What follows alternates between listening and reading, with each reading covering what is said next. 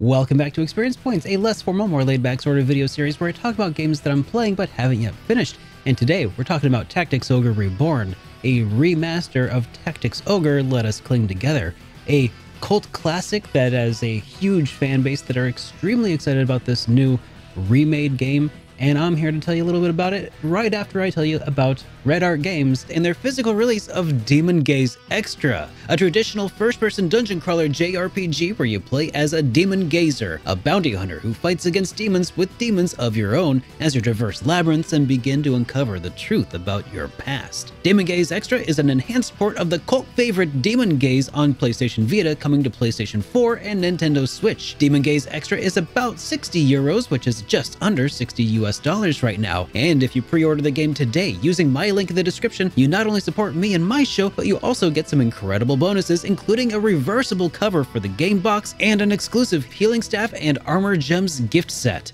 Red Art Games is a small company passionate about publishing high-quality physical releases for fans and collectors. Go pre-order Demon Gaze Extra today and consider bundling other games coming soon like Eiyuden Chronicle Rising to save on shipping and sweeten the deal. Demon Gaze Extra releases physically on January 13th, Thank you Red Art Games for sponsoring this portion of today's video. So Tactics Ogre is a game that really picks up pretty quickly from the get-go, honestly. It's very short between when you start the game, you see a little cutscene, and then within about five minutes, you're doing some stuff that's in the battle system. It doesn't really pick up for maybe another 20 minutes total, but it's actually really quick all things considered, especially by today's standards. So what happens is you actually start the game as a teenage young man and his best friend and his sister, who are all just kind of living in this little town that was previously burned down just a, a, like a year prior by Lancelot and some evil knights, some dark knights, something like that happened. And anyways, they heard that Lancelot was coming to town and they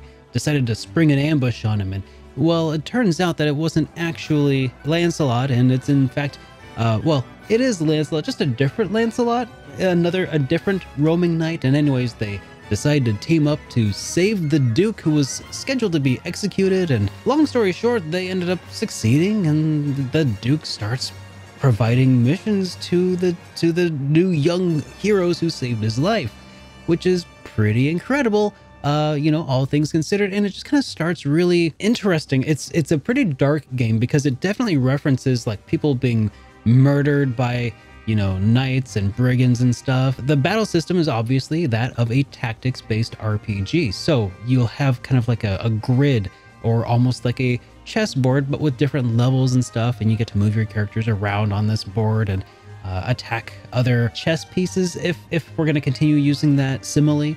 Essentially, this is a very standard tactics-based RPG. It might look a lot like Final Fantasy Tactics, however, I've been told that they do have a lot of dissimilarities as well. I haven't played very many tactics games, but Tactics Ogre Reborn, I'm really enjoying it so far, and I'm thinking I might need to give this uh, a little bit more of my time, maybe off camera or something, because it is really good. The voice acting in it is really great as well. I know that Bakusan JRPG during Hit Point expressed maybe feeling like the, the trailer showed off some overacting, but I was like, yeah, I don't know if that's actually true. Turns out, no, it's not overacted at all. They just picked scenes that were very emotionally charged for the uh, trailer, but they're actually really nicely done all in all. As far as the voice acting goes, everything sounds top notch, like something you would hear in Octopath Traveler.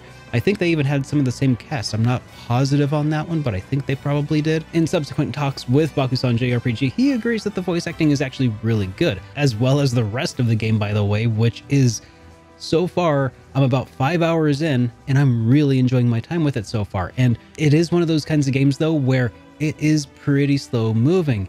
It's one of those sorts of things where battles can go on for several dozen minutes at a time, you know, because it's really not just a single one-on-one fight with one enemy. It's a large scale group of fights that are happening very fluidly because like you'll be attacking one guy over here and then somebody gets a little bit closer and you need to go attack them but then somebody's trying to flank you on the other side. So it's very reactive. It's very much like a chess game in action except for the fact that not all of the pieces have like really complicated uh, directions that they can move and things have hit points. You know, it's it's very very satisfying, and there's a lot of customization that you can do for each of the, the units that you will be able to control as well. Everything from the equipment that they wear, the spells that they have equipped, the different boosts that you can have them pick up in the form of cards on the battlefield. It's very, very deep and complex, and it sounds like the story is going to be fantastic. I, I, got some ideas in the back of my head. I feel like some stuff is going to go down here before too long between. Well, you know, I'm, I'm not even going to try and spoil it for you at home because I don't even know if it's a spoiler for me or not. I just feel like stuff is going to get a lot worse before they continue to get a lot better, you know? It, it just seems like if it's just easy street from the beginning of the game, uh, that wouldn't be a very fun and interesting story, right? Something's got to hit the fan here pretty soon, and I'm feeling like it. It's probably not going to take too much longer. I can definitely say though, as a newcomer to tactics RPGs, the uh, sort of way that they integrate tutorials into the combat during the beginning is actually really handy. So I feel like this is kind of designed as a almost like an entry level Tactics RPG. It was originally released, I think, on the PlayStation and the Super Nintendo. So this was one of the very first RPGs to ever be released as a Tactics RPG. I, I do believe, maybe not the first, but one of the first for sure.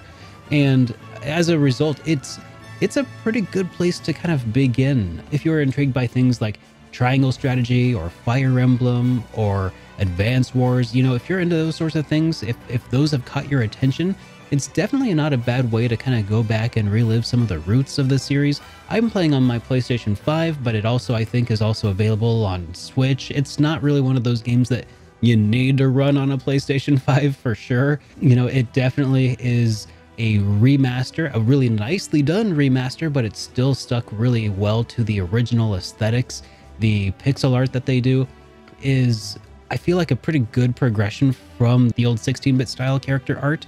The portraits are beautiful. The text is pretty interesting. I, I, feel like the text looks like a, it came straight out of like a manga kind of font. I'm not sure why, but it just has that look in my, in my mind. But if just the first five hours have been anything to go by, I can easily see myself getting really sucked into this thing. And yeah, there's so much depth and they're still introducing new concepts and stuff each battle at this point. Plus, you can also outside of combat go and do some additional training, uh, there's also, I'm, I'm not sure if this is a new feature or not, but like a wheel of time that you can roll back and you can actually replay through various encounters and choose between which outcome. So there is, I believe, permadeath, if I'm not mistaken. Um, it's not quite as hardcore as other games. Like I think you can like die three times and then they're gone forever. I don't know about that for certain. That's just what I've heard.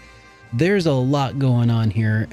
and and it's a little bit daunting but at the same time because it's one of the really like old games one of the things that actually started the genre and i believe would eventually spin off the tactics uh, final fantasy tactics series because it's one of those things i feel like i kind of owe it to myself to at least dig a little bit deeper and, and see what happens here because it's garnered such a huge cult following uh, such a huge cult fan base you know and i can see why so far it definitely has captured my imagination. I just feel like between all of the character customization and all of the uh, possible permadeath, like it's not, like I said, not as hardcore as like, you know, Fire Emblem, but I can see myself replaying certain scenarios over and over in order to get the best scenario outcomes. And it seems like the kind of game that could easily just take up so much time if you let it.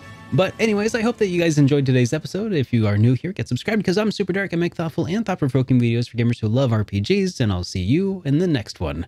Have a great day, everybody.